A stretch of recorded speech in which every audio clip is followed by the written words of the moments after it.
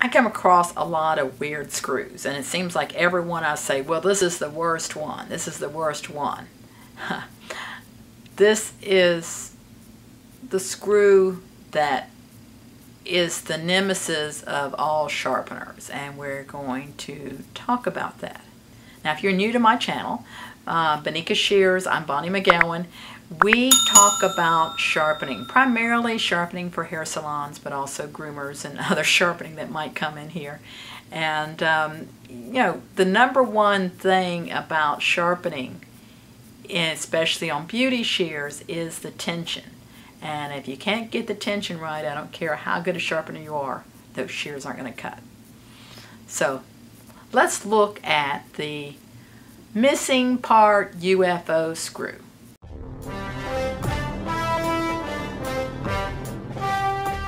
So you're going to see me come in. This was a shears that came in today and this one happened to have some missing parts. It was a UFO screw and we're going to look at some of the issues I had that day. There's some that have come in that have been a lot worse and if I get another one like that I'll be glad to share it with you.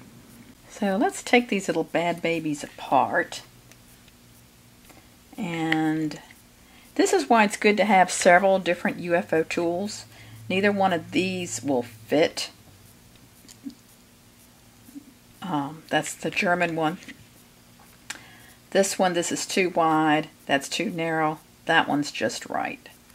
So I'm putting it in the holes. And let's see what's going on with this screw.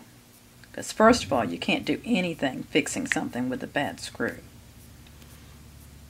Let's see if I can get this thing out of here. It's really super loose. Oh, well there's one of our problems.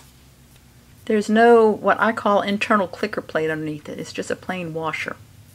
So I don't know if the last sharpener lost it or put it in on the wrong side. Well, let's take it apart and see what's going on.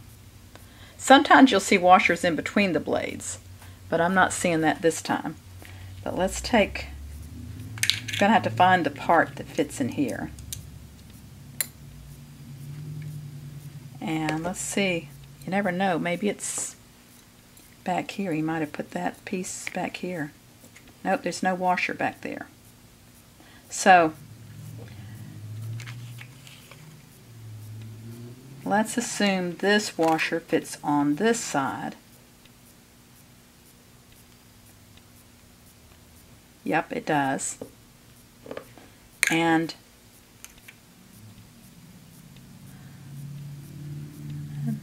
I'm going to address that rod line in here. I'm not going to go any further until I can find the right size clicker plate to go with that screw. Now these are my two most common sizes for these small shears like this. And if you notice they have like a little nipple that sticks up. And I've got to make sure that the nipple or noses um, stick up. Let's see. And usually if one fits, the other one will fit on these. Let's see if this is the right size.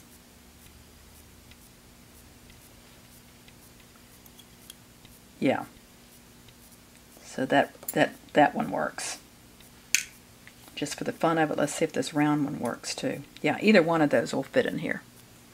So, I know when I finish sharpening, I can put these back together and they should hold their adjustment. And this is the tool I need. I'll put that in my cup as well. Okay, that goes over the peg.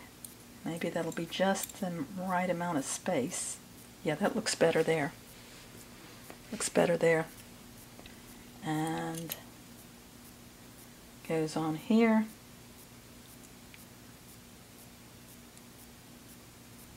And you notice how I'm doing all this without closing the shear. Now some people put them together with them closed.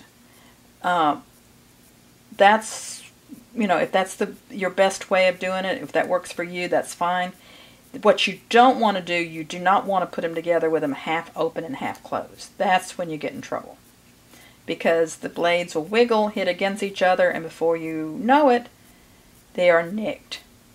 And then you got to start all over sharpening. Yeah this one's going to work I can tell.